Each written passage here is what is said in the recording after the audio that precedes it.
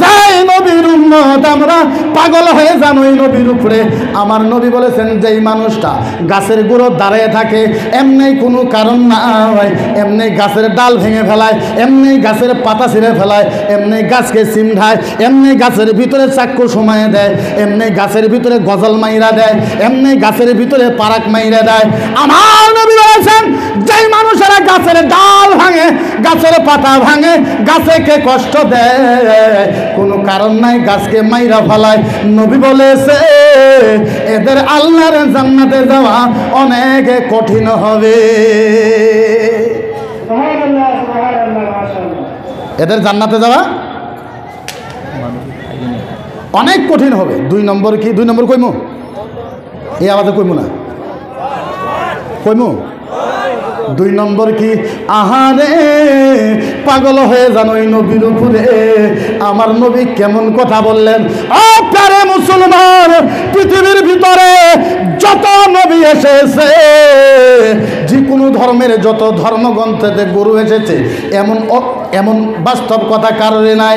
আহারে আমার নবী বলেছে, তুমি যেই গরু দিয়ে হাল বোয়াও, যেই মানুষেরা গরু দিয়ে হাল বোয়ায়, যেই মানুষেরা গরু দিয়ে ইনকাম করে খায় আল্লাহ বলেছেন যার বহুত বা খারাপ যারা গরু দিয়ে হাল বোয়ায়, গরু দিয়ে কষ্ট করায়। কষ্ট করানির পর পেগের খেতে আপনি হাল বইতেছেন গরুরে কইলেন, ডান মুখ যা। গরু আপনার বাউ মুখ গেল। আপনি পুরুষ মানুষ রাগ উঠা গেছে। লাঠিটা নিয়ে, পেন্টিটা নিয়ে, এমন মারা গরুকে মারছেন। গরুর শরীরের চামড়া ফাটিয়ে দিয়েছেন। আমার নবী বলেছে, ও মালিক রে তুমি গরুটাকে এমন অন্যায় হিসাবে মারলা গরুটাকে পাগল করে মারলা গরু কি কান্দা কানছে আল্লাহর কাছে তুমি তো জানো না। এইভাবে যারা গরুকে আঘাত করে মারে নবী বলেছে তাদের জান্নাতে যাওয়া অনেকে কঠিন হবে। এদের জান্নাতে যাওয়া অনেক কঠিন হবে। এদের জান্নাতে যাওয়া অনেক কঠিন হবে। ও প্যারে মুসলমান, আমার নবী সম্পর্কে দেখেন, আল্লাহ আকবার আল্লাহ আকবার। পাগল হয়ে যান মোহাম্মদ রাসূলুল্লাহর উপরে। বলেন তো দেখি, সাপ মারা যাই যাচ্ছে না নাই? আরে, সাপ মারা যাই যাচ্ছে না নাই? হাদিসে আছে, মাসলাতে আছে, ফতোয়া, দুর্রে মুখতারে আছে, সাপ মারা যাইস ফতোয়ার স্বামীতে আছে, বিচ্ছু মারা যায় ফতোয়ার স্বামীতে আছে, এন্দুর মারা যায় কিন্তু নবীর কথা শুনেন ইমান তাজা হয়ে যাবে। আমার নবী বলেছে সাতটা বস্তু মারা যায় কিন্তু তুমি যে এন্দুর মারবা, তোমার ঘরের মা বোনেরা নেপতুষক দিছে, কিন্তু নেপতুষক এন্দুরে কাটে। তুমি এন্দুরের জন্য ফাটক বান্ধ, এন্দুরের জন্য ফাটক লাগাও, এন্দুরের জন্য তুমি আধা লাগাও। আমার নবী বলেছে যদিও এন্দুর মারা যায় ফাটক দিয়া এন্দুর মারতে পারবা না।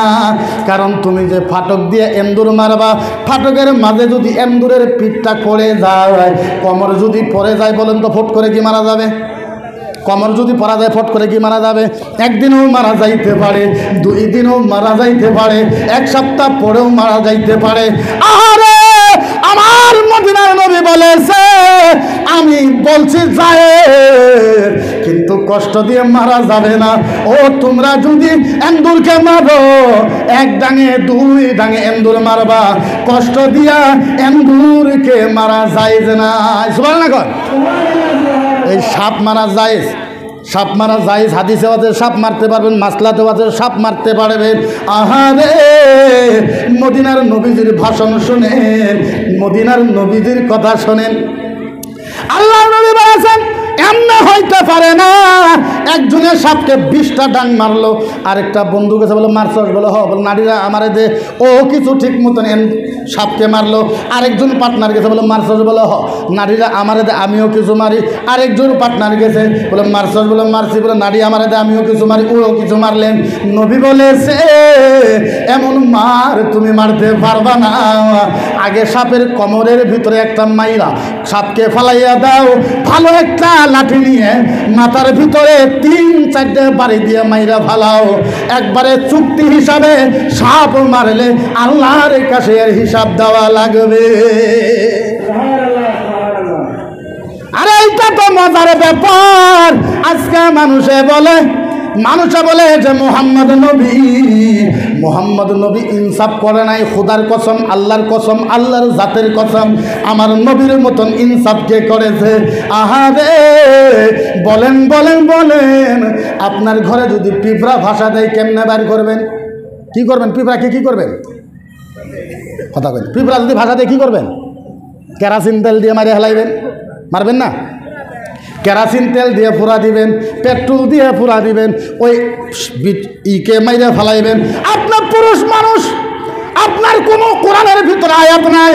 আপনি ছেলে মানুষ, আপনার কোনো কোরআনের ভিতরে আয়াত নাই।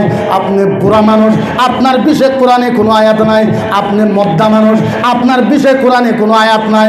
আমার নবী বলেছে আমার নবী বলেছে তুমি যতই বড় মদ্দা মানুষ হও তুমি যেই পিঁপড়াকে পেট্রোল দিয়ে আগুন ধরাইয়া মাইরা ফেলাইলা তোমার তো জানা দরকার ছিল এই পিঁপড়ার নাম আমার আল্লাহ কোরআনের ভিতরে সুরাতুন নাম বলে ঘোষণা করেছে। তুমি তো জানো পিঁপড়াকে মারলা তুমি জানো কি? পিঁপড়ার নামে কোরআনে আয়াত লিখেছে আল্লাহ। তুমি গরুকে মারলা জানো কি গরুর বিষয়? গরুর নামে সুরাতুল বাকারা আল্লাহ কোরআনের ভিতরে আয়াত লিখছে।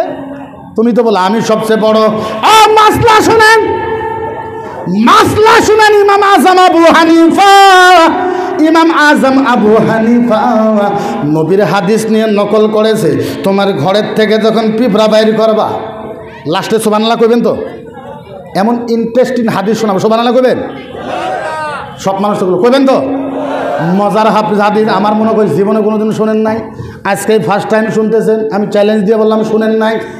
ইমাম আজম আবু হানিফা বলতেছে বলতেছে বলতেছে, হুজুর পিঁপড়া কেমনে বাড়ি করাবেন? পিঁপড়া বাঁশের ঝাড়া দিয়ে পিঁপড়া বাইর করা হবে।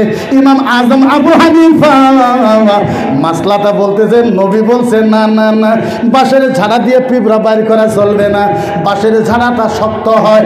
বাঁশের ঝাড়া দিয়ে পিঁপড়া যদি বাহির করা, বাঁশের ঝাড়া পিঁপড়ার সাথে লাগলে, বাঁশের ঝাড়ার ডাঙ্গে পিঁপড়া মারা যাবে। গতিকে বাঁশের ঝাড়া দিয়া ঘরের থেকে পিঁপড়া বাহির করা যাবে না। বলতে কিসের ঝাড়া? নারিকলের ঝাড়া দিয়ে ফিবরা বাইর করব। নবীও তাও মানা করেছে, নারিকলের ঝাড়াও তোমার শক্ত হয়।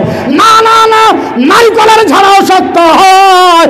এইটা দিয়েও বাহির করা যাবে না। ইমাম আজম আবু হানিফা, উনি বলেছেন, নবী বলেছে, কেমনে বাহির করবে? পাগল হয়ে যান মদিনার নবীর উপরে। ইমাম আজম বলেছেন আমার নবীর হাদিস নিয়ে নকল করে বলেছে। ঘরের থেকে পিঁপড়া বাইর করে সোমান্না করবেন তো? করবেন না? নবী বলেছে, ঘরের থেকে পিঁপড়া যখন বাইর করবা, সুনের ঝাড়ু দিয়া, সুনের ঝাড়া দিয়া আস্তে আস্তে আস্তে আস্তে ঘরের থেকে পিঁপড়া বাহির করবা। সোনার ঝাড়ু দিয়ে যদি পিঁপড়া বাহির করেন, পিঁপড়া মরবো, হুজরা মরবো?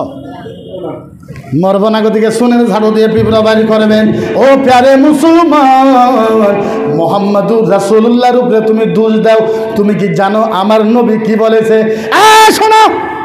যারা মোহাম্মদুর রাসুল্লাহকে দোষ দিতে চায়, আমার নবী সম্পর্কে আপনার জ্ঞান নাই, আমার রাসুল সম্পর্কে আপনার জ্ঞান নাই। আহারে আমার নবী বলেছে, আমার নবী বলেছে, আমার নবী বলেছে, আমার নবী বলেছেন আল্লাহর নবী বলেছেন, তোমার গ্রামের ভিতরে যদি একশো মুসলমান থাকে, ওই গ্রামে যদি দুইজনে হিন্দু থাকে, কয়জন? আরও কোন কোন, কয়জন? আরও যেরকম কয় ঘর? নবী বলেছে, একটা গ্রামে যদি একশো জন মুসলমান থাকে, ওই গ্রামে যদি দুইটা হিন্দু মানুষ থাকে, আল্লাহর নবী মদিনার নবী বলেছে, মদিনার নবী বলেছে, ওই দুইটা হিন্দু যদি আমরুল আমরুল আমরা জালমত ওই দুইটা হিন্দু যদি বেমার পরে যদি মারা যায়, ওই দুইটা হিন্দু যদি না খায় মারা যায়, একশো জন মুসলমান হাসলো, হিন্দুকে সহায় করলেন না।